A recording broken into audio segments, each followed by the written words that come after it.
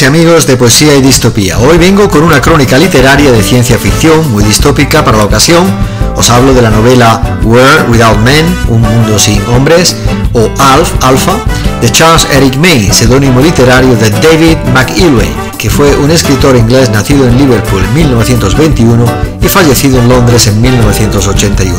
Conocido sobre todo por sus seriales de ciencia ficción publicados en las décadas de los 50 y de los 60. Hablamos de un gran autor y especialista del género de la ciencia ficción que publicó tres números de una revista de ciencia ficción llamada The Satellite, que coeditó junto con J.F. Burke, otro autor de ciencia ficción, y que entre 1940 y 41 publicó su propia revista, Gargoyle. Una de sus novelas más conocidas, Timeliner, Cronómetro, trata de un científico que prueba y experimenta con una máquina del tiempo, pero que se ve empujado maliciosamente al futuro por un colega científico que tiene una aventura con su mujer.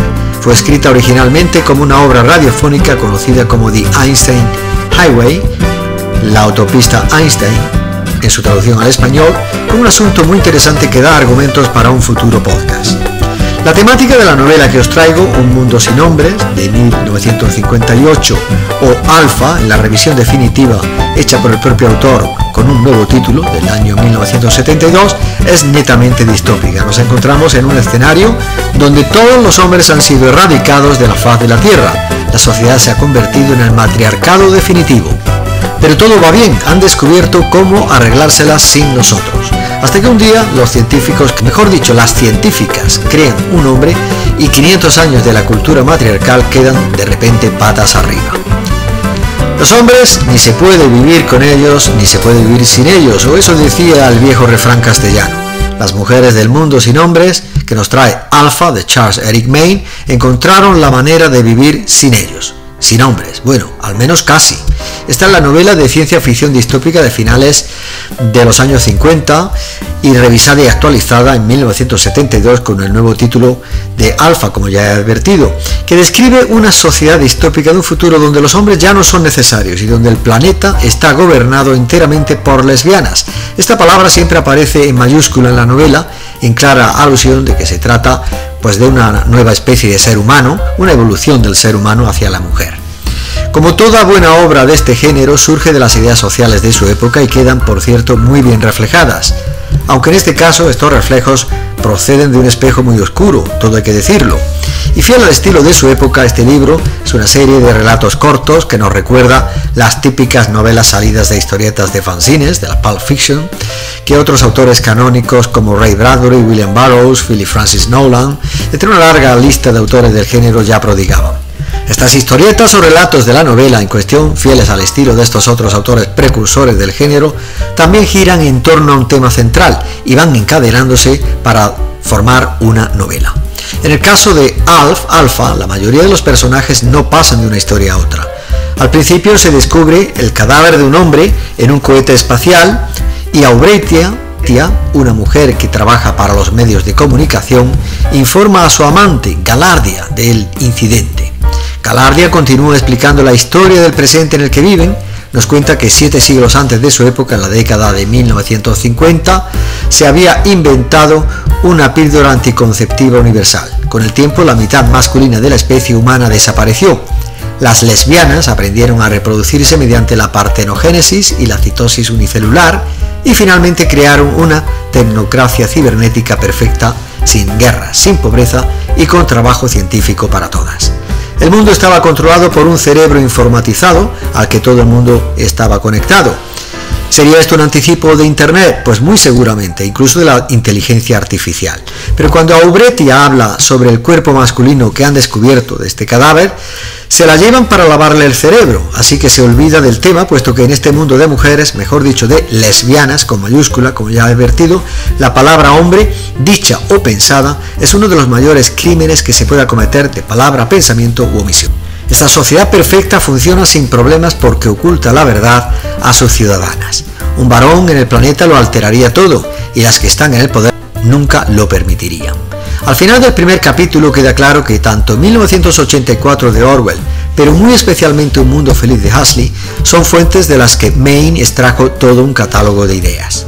Lógicamente no voy a ofrecer un resumen de la novela que aconsejo encarecidamente que leáis, pero sí seguiré ofreciendo alguna pincelada de determinados capítulos a título orientativo. Pero eso sí, me gustaría advertiros de que ninguna de estas historias o relatos cortos cronológicos tiene un final feliz. La cuarta y mejor historia del libro, desde mi punto de vista, trata de Ghoste, un anciano encarcelado por las lesbianas para poder extraer de él lo que necesitan saber para inducir artificialmente nacimientos asexuales, que son obligatorios. Tras atacar y violar un día a la mujer que cuida de él, escapa Gorste, este anciano, de su apartamento, solo para descubrir que no hay forma de salir del edificio en el que está atrapado. Cuando la mujer se recupera, abre la puerta exterior para liberarlo, sabiendo que al hacerlo acabará muriendo, porque será eliminada por el sistema. Si él no la hubiera violado, ella nunca le habría dejado marchar. Lo ingenioso de esta historieta es que actúa como una inversión del síndrome del ama de casa. Es decir, las feministas de los años 50 y 60, sobre todo en Estados Unidos, en España seguramente un par de décadas después, afirmaban que ser ama de casa mientras el marido salía a trabajar era lo mismo que vivir en una cárcel. Así que en este caso los papeles se invierten y Goste es un hombre atrapado por una lesbiana cuyo trabajo consiste en evitar que se escape y al final la viola y se escapa. En este mundo invertido, el hombre se pone en el lugar del ama de casa, pero el arma que utiliza para escapar de sus garras es la violación, por lo que cualquier lector inteligente le perderá el respeto y la simpatía desde el principio.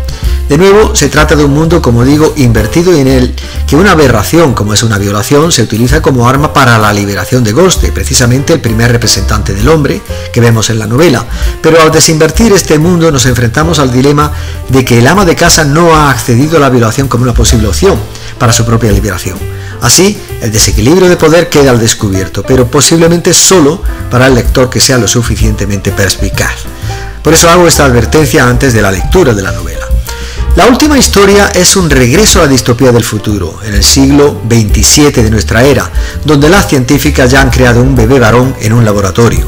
La red mundial de cerebros informáticos de este mundo distópico regido por mujeres, mejor dicho, lesbianas como son denominadas, se encarga de responder a estas preguntas y el destino del niño queda finalmente decidido. Si permiten que el niño viva, la sociedad tal y como la conocen se desintegrará. El niño debe ser destruido y una lesbiana, Coraline, se ofrece voluntaria para matar al bebé, pero su verdadera intención es secuestrarlo y escapar con él para renovar así la raza humana de su sociedad perfecta, pero que ella, como tantas otras lesbianas, en secreto y en silencio, consideran aburrida y sin sentido.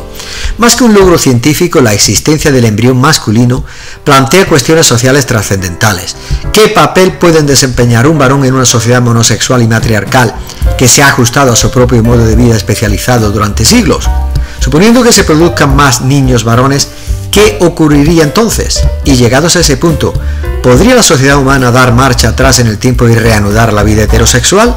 Alf Alfa, el mundo sin hombres, trata muchos temas de la época. En cierto sentido, trata del miedo al totalitarismo en relación con la generación posterior a la Segunda Guerra Mundial, cuando las amenazas del fascismo y la triste realidad del comunismo se cernían sobre el mundo libre, pero la amenaza de la dominación totalitaria no se limitaba a esos tipos de gobiernos. El temor legítimo a que las grandes corporaciones se volvieran más poderosas que el gobierno empezaba a arraigar mientras los burócratas occidentales insistían en que los pueblos libres de América y Europa tuvieran todos un aspecto y un comportamiento uniformes.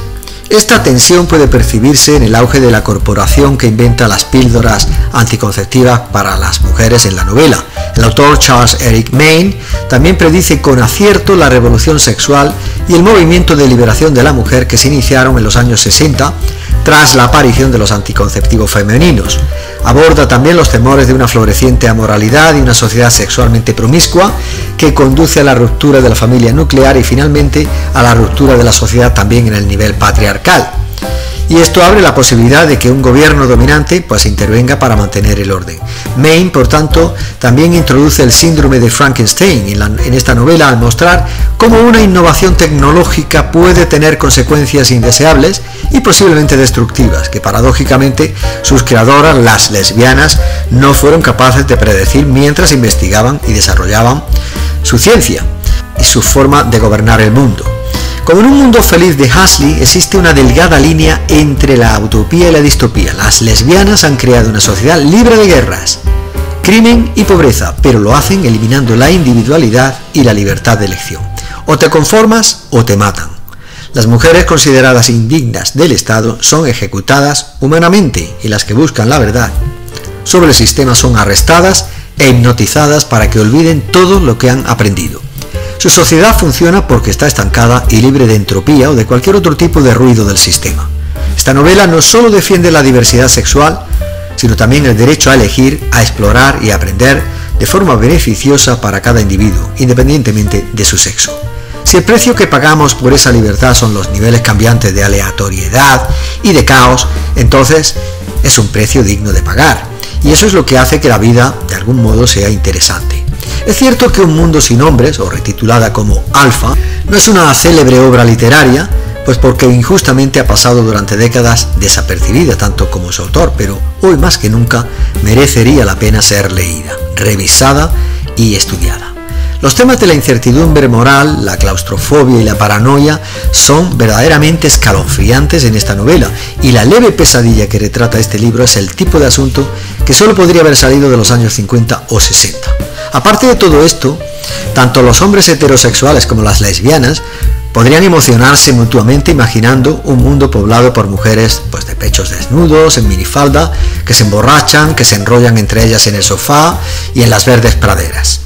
Pero como mínimo puede ser un experimento interesante el tratar de imaginar la época en que se escribió este libro y cómo esas imágenes podrían resultar excitantes, chocantes o incluso ofensivas, según a quien se pregunte y según quien la lea.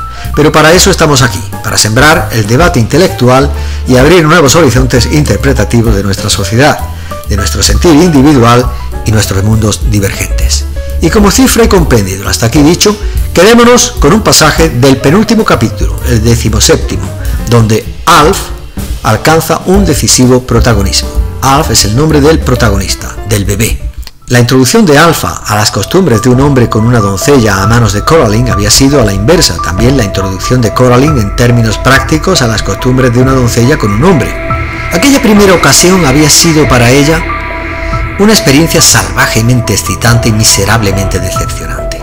El mero hecho de mostrarle su cuerpo desnudo y señalarle sus delicados entresijos, funcionales, orgánicos, la había encendido de sensual expectación, pero la respuesta de Alfa fue de perplejidad y recelo, incluso de cierta repugnancia, como si pensara que había sufrido un feo accidente, pero fuera demasiado educado para expresarlo. Sus esfuerzos por excitarlo, basados en teorías académicas, resultaron inútiles. Alfa estaba demasiado acostumbrado a reaccionar ante los brillantes instrumentos y tubos manipulados por asistentes asexuales de bata blanca. Y bien, eso es todo por hoy, amigas y amigos de Poesía y Distopía desde la ciudad de la Alhambra. Este que os habla Jesús Castel Nuevo os insta a disfrutar de la lectura filosófica de una enorme pieza de ciencia ficción distópica de mediados del pasado siglo. Un mundo sin hombres o Alpha de Charles Eric May.